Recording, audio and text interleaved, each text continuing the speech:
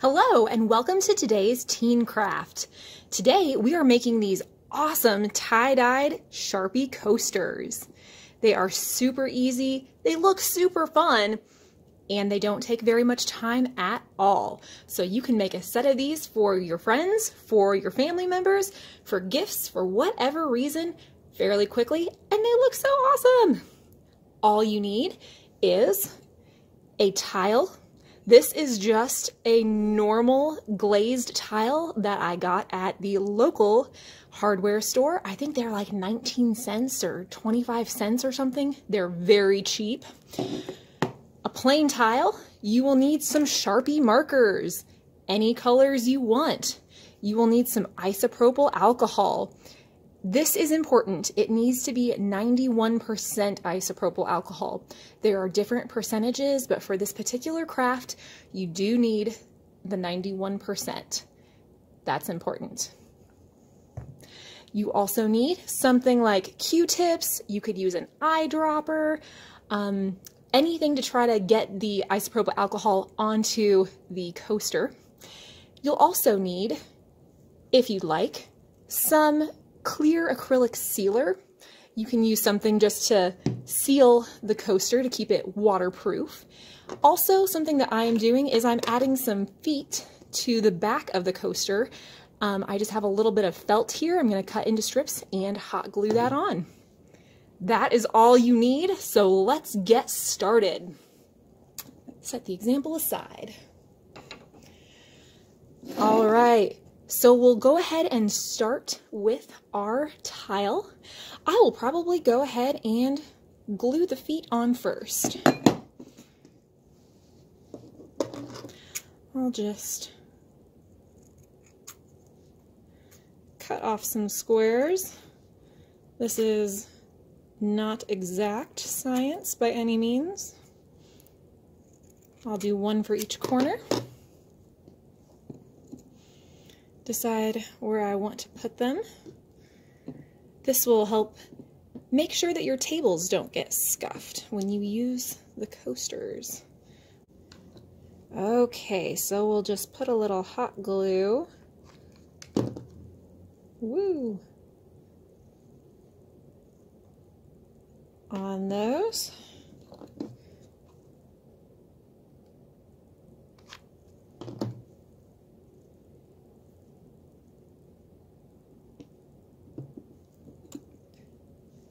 Course, it doesn't matter what color felt you use. I just happen to have gray.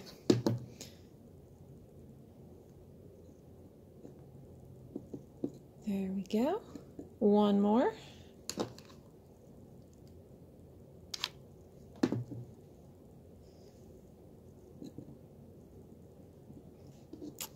Ta-da! There we have coaster feet. Wonderful table is now protected. All right, the next step is to choose what colors you would like to color your coaster. I think I might go for some warm fall colors, maybe some sunsetty type colors.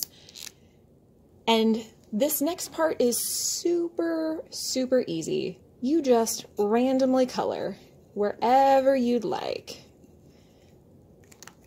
You can make splotches. You can make stripes.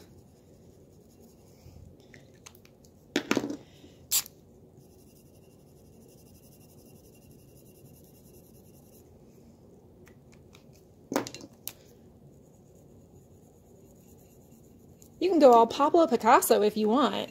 You can literally do whatever you'd like. I am just kind of going with a, oh, I don't know, cubist. I I don't know. I don't remember my art history class. Oh, but there's just a lot of drawing, scribbling.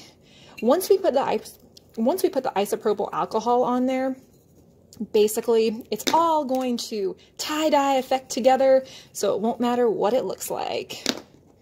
You know what? Let's put a little blue in there just for fun. Ooh, a light blue. That's nice.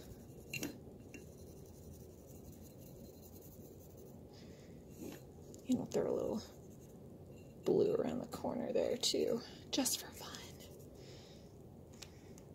All right, here's my modern art piece. Ta-da! Next, we'll take the isopropyl alcohol.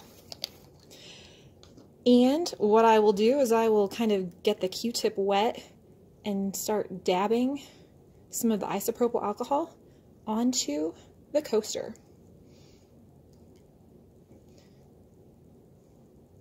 I'm trying not to touch the actual coaster as much as humanly possible. I don't want to get colors on the end of my Q-tip. However, you can totally do that if you want. You can see there's a little bit of orange now on there. I did bring a lot of Q-tips just in case I needed to do that.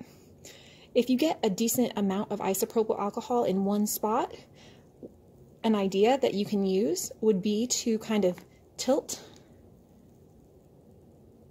the coaster and you can see I've got some blurring going on, some splotches. That's exactly what I'm looking for.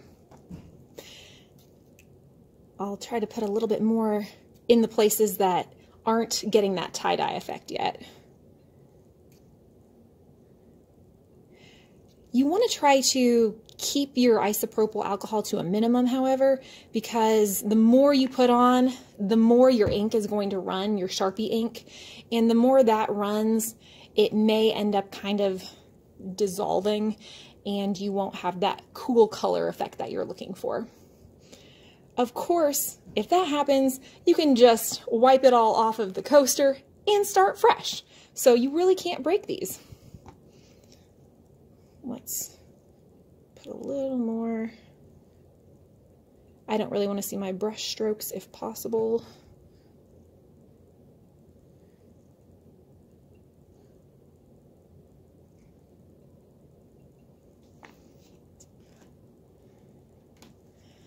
Okay, looks like I can still see brush strokes right there, so I'm going to try to put a little more up there.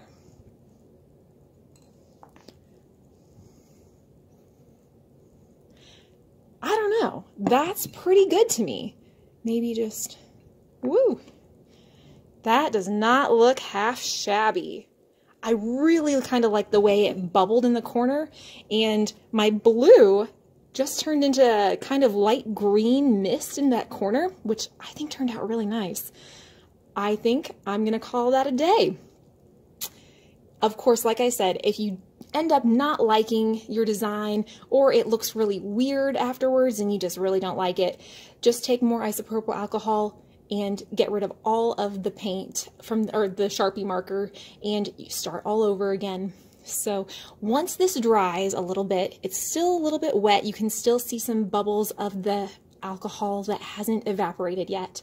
Once that evaporates, you can use the acrylic sealer, take it outside, make sure you shake the bottle or follow the instructions on the back and just seal it with one coat, maybe two of the acrylic sealer.